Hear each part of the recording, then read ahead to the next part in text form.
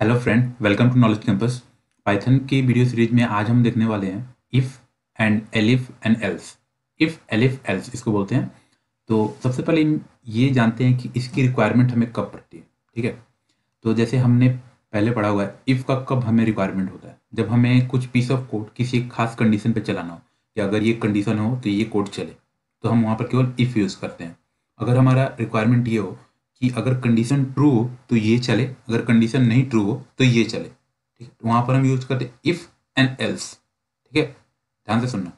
अब हमारा कंडीशन क्या है?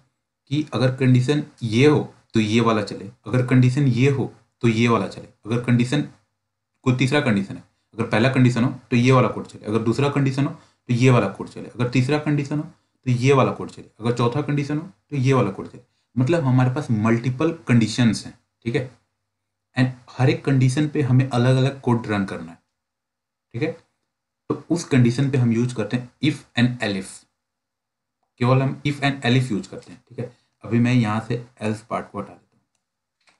तो वहाँ पर हम क्या यूज़ करते हैं? इफ़ एंड एलिफ वही मैंने यहाँ पर लिखा हुआ है कि मैंने एक नम नाम का वेरिएबल लिया एंड उसमें एक नंबर स्टोर कर लिया, ठीक है? अब कंडीशन क्या है कि अगर नंबर जो भी नम में नंबर है, मुझे नहीं पता कौन सा नंबर अगर नंबर फाइव से बड़ा, ठीक है एंड दस से छोटा है, पाँच से बड़ा एंड दस से छोटा है तो नंबर ये मैसेज प्रिंट होना चाहिए कि number is between five and ten and number print हो जाना चाहिए। अगर नंबर दस से बड़ा एंड पंद्रह से छोटा है तो ये वाला मैसेज प्रिंट होना चाहिए कि number is between eleven and fifteen and number जो हो, वो प्रिंट हो जाए। अगर नंबर पंद्रह से बड़ा एंड बीस से छोटा हो तो ये मैसेज प्रिंट हो जाना चाहिए कि number is between sixteen and twenty and number print हो जाना चाहिए।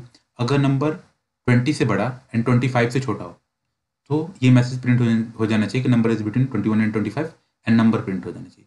तो देखिए, हमारे पास मल्टीपल कंडीशन आने लगे। तो उसके लिए हम क्या लिखेंगे? सबसे पहले इफ़ लिखेंगे कंडीशन लिखेंगे इफ़ की बॉडी लिखेंगे। देन हम लिखेंगे एल इफ़ एल्स नहीं है ये। L E L I F L if लिखते हैं, ठीक है? एल इफ़ लिखने के बाद जैसे इफ़ में कंडीशन देते थे, वैसे ही कंडीशन यहाँ पर भी देंगे। एंड उसके बाद कॉलन लगाएँगे। फिर ये इसकी बॉडी लिखेंगे। फिर एलिफ लिखेंगे। मतलब इफ़ एक बार लिखने के बाद एलिफ एलिफ रिपीट करना ये नहीं हुआ कि एलिफ लिखना होगा, फिर इफ़ लिख दिया। नहीं। एलिफ कंडीशन फिर उसकी बॉडी फिर एलिफ फिर कंडीशन फिर उसकी बॉडी फिर एलिफ फिर कंडीशन फिर उसकी बॉडी ठीक है? ऐसे कोडिंग करना एंड इसका एग्जीक्यूशन का प्रोसेस क्या होगा? सबसे पहले ये चलेगा। लाइन नंबर सेकंड ये क्या करेगा? ये चेक करेगा कि नम चेक नहीं करेगा, नंबर में ट्वेंटी सिक्स स्टोर कर लेगा, उसके बाद ये चलेगा। ये वाला लाइन चेक करेगा कि नंबर ये कंडीशन को ट्रू कर रहा है या नहीं, ये कंडीशन ट्रू हो रहा है नहीं, ठीक है? नंबर पाँच से बड़ा है, दस से छोटा है या नहीं? अगर ये कंडीशन ट्रू होता है, अगर ये कंडीशन ट्रू होता है तो ये वाला चलेगा एंड उसके बाद ये प्रोग्राम के, ये इसके नीचे का कुछ भी नहीं चलेगा, ठीक है?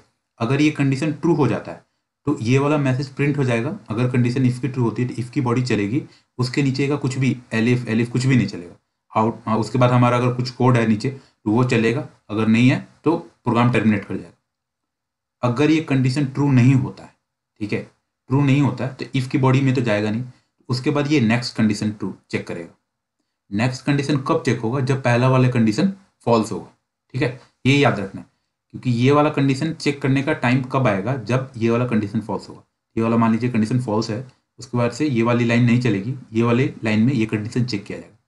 फिर से इस लाइन में कंडीशन चेक किया जाएगा कि ये ट्रू है या फॉल्स है। ठीक है? अगर ये ट्रू होगा तो इसके नीचे का, इसकी बॉडी की जो भी कोडिंग होगी, वो चलेगा। ठीक है? इस पहले वाले एलिफ की जो बॉडी होगी, इसकी बॉडी में जो भी कोडिंग होगा, वो चलेगा। उसके नीचे का कुछ भी नहीं चलेगा। उसके नीचे का जो भी कंडीशन कंडीशन होगा, कुछ भी चेक हो, कुछ भी नहीं होगा। आउट ऑफ़ द ये ये जो पूरा ये चल रहा है एलिफ लिफ उसके नीचे सीधे और उसके बाद जो कोड होगा, वो चलेगा। अगर ये कंडीशन फॉल्स होता है देन इसके नीचे वाली कंडीशन चेक की जाएगी। अगर ये फॉल्स हुआ तो इसकी बॉडी नहीं रन होगी एंड इसके नीचे वाला जो सेकंड वाला एलिफ है, उसका कंडीशन चेक किया जाएगा। ये सेकंड वाला एलिफ का कंडीशन कब चेक किया जाएगा? जब पहला वाला एलिफ कंडीशन फॉल्स हो एंड पहला वाला एलिफ कंडीशन कब चेक किया जाएगा? जब इफ़ कंडीशन फॉल्स हो। तो पहले ये चेक किया जाएगा, अगर ये फॉल्स होता है, तभी ये रन होगा, नहीं तो सीधा ये इस इफ़ की बॉडी रन होने के बाद ये आउट ऑफ़ इसके बाहर बाहर आ जाएँगे। जैसे मान लीजिए इसके बाहर मैं लिख देता हूँ, कुछ जैसे पता चले कि मैं हम लोग बाहर है। आफ्टर इफ़ एंड एलिफ ठीक है? अभी हम लोग यहाँ पे थे। ये वाली कंडीशन चेक हुई। अगर फॉल्स हुआ तो ये वाला कंडीशन चेक होगा। ये कंडीशन अगर ट्रू हो गया तो ये वाला चलेगा। उसके बाद से ये वाला कुछ भी नहीं चलेगा। सीधा ये वाला चल जाएगा। अगर ये भी फॉल्स होता है तो इसकी बॉडी नहीं चलेगी। इसकी बॉडी नहीं चलेगी, उसके बाद ये वाला कंडीशन चेक किया जाएगा। अगर ये कंडीशन ट्रू होता है तो इसकी बॉडी चलेगी। एंड अगर ये भी कंडीशन अगर फॉल्स हो जाता है तो ये वाले ये वाला तो चलेगा ही चलेगा। ठीक है? तो बेसिकली इसमें फ्लो ये है कि ये वाला चले, उसके लिए ज़रूरी है कि ऊपर वाला फॉल्स हो। जहाँ पे जिस जो कंडीशन फॉल्स होगा, उसके बाद ही सॉरी जो कंडीशन ट्रू होगा, उसके नीचे का कोड नहीं चलेगा। पहला वाला ही अगर कंडीशन ट्रू हो जाता है तो इसके नीचे का कुछ चलेगा ही नहीं। चेक ही नहीं किया जाएगा। ये फॉल्स होगा, तभी ये चेक किया जाएगा। ये फॉल्स होगा, ये फॉल्स होगा, तब ये चेक किया जाएगा। अगर ये भी फॉल्स हो गया, ये भी फॉल्स हो गया, ये भी फॉल्स हो गया, तब जाके ये चेक किया जाएगा, ठीक है? अगर ये वाला ट्रू हो गया तो इसके बाद ये वाला चेक किया गया फॉल्स हुआ, ये भी फॉल्स हो गया, फिर ये वाला चेक किया गया, अगर ये ट्रू हो गया तो ये वाला चेक किया ही नहीं जाएगा, ठीक है? तो ये सीक्वेंस आपको ध्यान में रखना है कि चेक कब होता है, ठीक है? बॉडी कैसे रन होती है, कैसे कोड एग्जीक्यूट होता है, ये फ्लो आपको ध्यान रखना है, ठीक है? तो अभी हम जैसे मान लीजिए कि हमने दे दिया ट्वेल्व ठीक है? नब्बे नब्बे ट्वेल्व है तो क्या होगा कि पहले ये चलेगा, फिर ये कंडीशन चेक किया जाएगा, ये कंडीशन फॉल्स है तो इसकी बॉडी नहीं रन होगी। फिर ये कंडीशन चेक किया जाएगा, ये कंडीशन ट्रू हो जाएगा, इसकी बॉडी रन होगी। ये नंबर मैसेज प्रिंट हो जाएगा। एंड ये मैसेज प्रिंट होने के बाद ये वाला नहीं चेक होगा, ये रन ही नहीं करेगा, ये भी चेक होगा कुछ भी नहीं होगा। सीधा कंट्रोल यहाँ से, ये वाला प्रिंट होने के बाद यहाँ से कंट्रोल आ जाएगा इसके पास, ठीक है? तो चलिए हम इसको रन करके देखते हैं।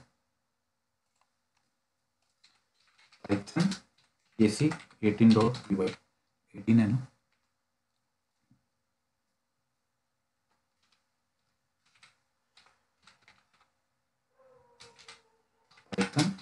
A C eighteen dot P Y देखिए नंबर ये वाला कंडीशन ट्रू हो गया एंड ये वाला मैसेज प्रिंट हो गया। Number is between eleven and fifteen ये वाला कंडीशन ट्रू हुआ। अब देखिए, आप इसका फ्लो चेक भी कर सकते हो। यहाँ पर आप क्लिक करो। अगर विजुअल स्टूडियो कोड में है तो यहाँ से ये ब्रेक पॉइंट मैंने लगा दिया। ये रेड हो देखो रेड ठीक है ब्रेक पॉइंट हो गया। अब इससे हम क्या कर सकते हैं? डिबगिंग करके देख सकते हैं। रन में जाओ। डिबगिंग स्टार्ट करो। डिबगिंग स्टार्ट करने के बाद ये आप रन करके देखो। अभी आपको पता चलेगा कि कैसे कैसे फ्लो कैसे चल रहा है। अभी हम यहाँ पर हैं, ठीक है? ये वाला लाइन चल रहा है, क्योंकि ये वाला लाइन हाईलाइट है एंड उसके सामने ये है। उसके बाद ये वाला लाइन चला, ठीक है? नम में आ चुका है वो। ट्वेल्व वैल्यू ये वाला इफ़ वाला कंडीशन चेक किया गया। अब देखिए, ये फॉल्स होता है फॉल्स होने की वजह से ये वाला वैल्यू नहीं चलेगा, ये वाला बॉडी इसकी इफ़ की बॉडी नहीं चलेगी। इफ़ की बॉडी नहीं चलेगी, उसके बाद से इस पर सीधा कंट्रोल आ जाएगा, ये वाला कंडीशन चेक किया जाएगा। ठीक है यहाँ से सीधा जंप होकर इस पर आ गया, ठीक है? अब ये वाला कंडीशन चेक किया जाएगा। ये वाला कंडीशन चेक किया जाएगा। अगर ये ट्रू होता है तो इसकी बॉडी चलेगी। कंडीशन चेक किया गया कंडीशन ट्रू था इसलिए इसके बॉडी के अंदर कंट्रोल आया ठीक है? ये देखिए ये वाला एरो से देखो एंड ये हाईलाइट कौन सा जो भी लाइन हाईलाइट होगा इट मीन्स अभी वो लाइन चल रहा है ठीक है? ये वाला लाइन चला। अब भी देखना इसके बाद कहाँ पे आ जाएगा कंट्रोल सीधा बाहर ठीक है? सीधा इस पे आके उसके ऊपर का जो भी ये कोड था ये वाला ये, ये वाला जो कोड था ये ये दोनों नहीं चला। चेक ही नहीं किया गया ठीक है? उसके बाद ये चला। एंड आपके पास आउटपुट में ये आ गया। Number is between eleven and fifteen and उसके बाद से जो लास्ट में मतलब इसकी बॉडी के बाहर में जो, इसके नीचे जो भी कोड होगा, मैंने ये बस एक प्रिंट स्टेटमेंट लिखा तो वो वाला रन हो गया। ठीक है? आई थिंक आपको समझ में आ गया होगा कि ये कैसे चलता है। अब देखिए, अब कंडीशन एक ये है कि हो सकता है कि कोई भी कंडीशन ट्रू ना हो। ठीक है? ये भी कंडीशन ट्रू ना हो, ये भी कंडीशन ट्रू ना हो, ये भी कंडीशन ट्रू ना हो, ये भी कंडीशन ट्रू ना हो। अगर सारे कंडीशन अगर फॉल्स होते हैं तब ये चलना चाहिए। मेरे पास ये कंडीशन है कि ये कंडीशन हो तो ये चले। फ़र्स्ट कंडीशन ट्रू हो तो ये चले। सेकंड कंडीशन ट्रू हो तो ये चले। थर्ड कंडीशन ट्रू हो तो ये चले। अगर तीनों कंडीशन अगर फॉल्स हो जाता है तो ये चलना ही चलना चाहिए, ठीक है? तो उसको हम लिखेंगे एल्स में एंड उसको लिखेंगे प्रिंट लिख देते हैं एल्स बॉडी पता चले कि एल्स की बॉडी है, ठीक है?